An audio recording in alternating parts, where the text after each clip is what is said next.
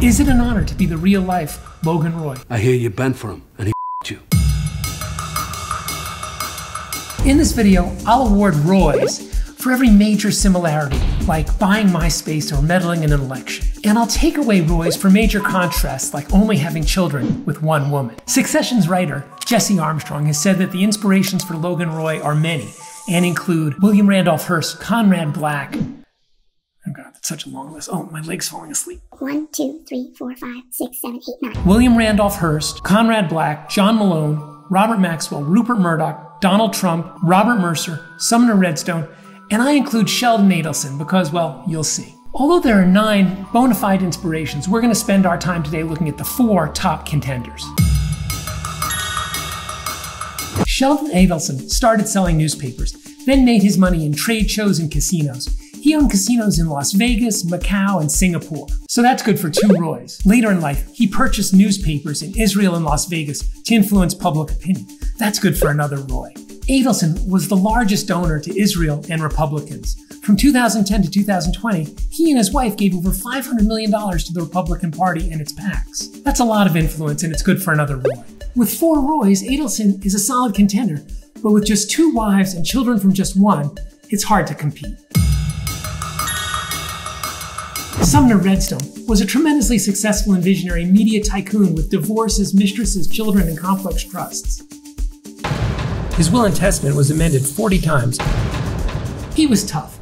Caught in a hotel fire at 55, he held on outside a window, sitting on a small ledge while flames burned him and disfigured his fingers. He had burns on 45% of his body. Yeah, I was in the hospital for about four months. I had 60 hours of surgery. You gotta give him a Roy just for that. Like Logan Roy, he owned movie theaters. That's good for a point. He also thought content was more important, so we bought control of CBS, Viacom, and several cable TV networks.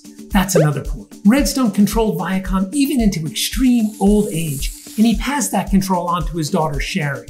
That's good for another point. He also moved his executives around. One of them, Philippe Dauman, looks a lot like Frank Vernon, Logan's assistant and the COO of Waystar Royco.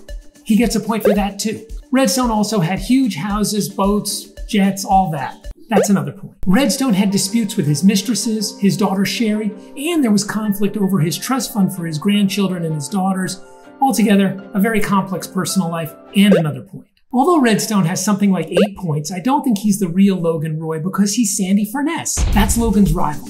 Sandy Furness, at the end, sits hunched over and mumbling in a wheelchair while his daughter does all the talking. This is exactly like what happened to the real Sumner Redstone when he was at the end of his life. In 2018, the ailing media mogul Sumner Redstone possessed a controlling interest in CBS Corp and Viacom Inc., but little power of speech beyond grunting.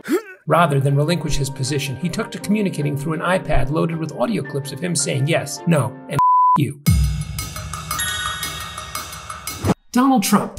Although he inherited his money and worked mostly in real estate and branding and is not a media tycoon, he is a huge entertainer and I think he gets a point for that. And he was elected President of the United States, a position of tremendous power that even Logan would respect. Logan's all about power and entertainment, so I'm going to give him two points one for being president and one for being such a hugely successful entertainer. There's also the Trump Media Group. That's Trump's newfangled thing that owns, I think, the Truth Social Network. Give him a point for that too. So that's three points. Donald Trump has had three marriages to women increasingly younger than he is, and that hasn't stopped him from getting extra credit. That's certainly Logan's style, so that's point number four. Like Logan, Trump has three well known children involved in his business, point number five.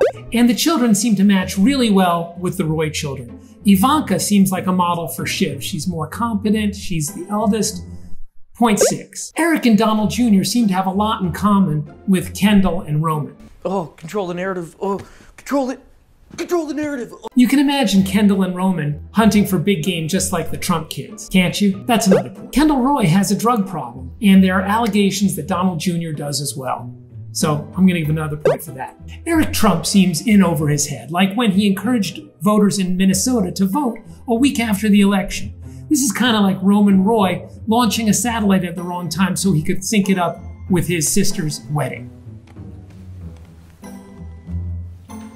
One more Roy for the Donald. Like the Roy children, who were only contenders to run Waystar Royco because of nepotism, The Trump children are too. They're running this huge company, and the only reason they're doing so is because, you know, they won the sperm lottery. They think they've hit a home run when actually they were born on third base. Come to think of it, Donald Trump thinks that too. So although Donald has nine points, he has had six bankruptcies, and Logan Roy hasn't. I'm deducting a point for each bankruptcy, and that brings the Donald way down, I'm afraid. Rupert Murdoch and Logan Roy were both born subjects of the British Empire. Logan was born Scottish and Rupert was born Australian. I'm willing to assume Logan is a United States citizen, just like Rupert is, because of restrictions on the foreign ownership of US TV stations and other media assets. That's definitely a point. Both started with newspapers and expanded to satellite television, and then founded right wing news networks. The ATN network looks a lot like the Fox News network. That's definitely a point. Both wanted trophy newspapers. Logan Roy tried to buy the Pierce Group, which had some fancy newspaper. This is a lot like Rupert Murdoch's real acquisition of Dow Jones for the Wall Street Journal. He bought the Wall Street Journal and Dow Jones from the Bancroft family, and that whole scene with the Pierces and the Bancrofts seems very similar. That's definitely a point as well. Both have tried to enter social media through acquisition. Rupert Murdoch bought MySpace in 2005 for $580 million and sold it for $35 million in 2011. This reminds me of the Vaulter acquisition in season two of Succession. Vaulter is later shut down, so the parallels are strong. That's another point.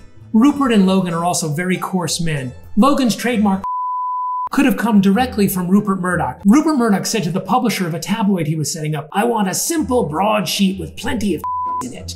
That certainly could have been from Logan Roy as well. Point five. Both men have had major scandals in their businesses. The News Corp scandal for phone hacking, you know, the Milly Dowler scandal in England, in which they hacked into the phone of a poor girl who'd been murdered, giving hope to the parents, thinking, you know, the girl could have been alive. Major scandal that threatened the top of the company, even though it was actually done by underlings. That sounds a lot like the scandal in cruise ships in succession. You call him Mo over 30 times in emails to family and colleagues, but you never use it in the items of correspondence sent to him privately, uh, for instance, during his illness. Why not? Another point for Rupert. Of course, Rupert has many homes, yachts, and planes. Give him a point for that too. Ah, my this hurts a lot. Um, okay wives. Rupert has had four, all increasingly younger than him, and ladies, he's single again, so um, that's another point. Conflict over family trusts. Rupert's later wives and their children have competed with the children of the earlier wives for control over Rupert's assets and his companies, and he has sort of reached an agreement with the various wives and children over his trusts. Highly reminiscent of succession. So you've got to give him another point for that family structure. Similarly to Logan, Rupert has a single child from the first wife, Prudence, three children from the second wife, and, you know, uh, Logan's still relatively young, and maybe he'll have a third act with some more children. So the, the story's not over for Logan or for Rupert at this point, but the family structures do look fairly similar. Logan and Rupert are tremendously accomplished. Rupert has actually been a significant player in politics since the 1960s Ronald Reagan credited Rupert Murdoch with helping him win New York State and the presidency. You've got to give Rupert a point for that as well. One major difference, though Rupert Murdoch's children are considered highly accomplished and very capable, unlike Logan's. Uh, I don't think you need to uh, I'll deduct one for that. So Rupert has run up the score, and before Succession, Jesse Armstrong, the writer of Succession, actually wrote a script and a pilot about the Murdoch family. It was never made, but I think that's another confirmation that the real Logan Roy is Rupert Murdoch. So, Rupert, congratulations. You're the king, the roi of Roys. What does that mean? It's a little French word. The roi means, means king in French. Logan is king. Roy is the name of the king royal, royalty, roi. So do you agree? Have I missed anyone? Please let me know in the comments. It's fun looking at the real people who might have inspired the show Succession. I also did a video on Margin Call where I look at the real events that inspired that movie. And bye!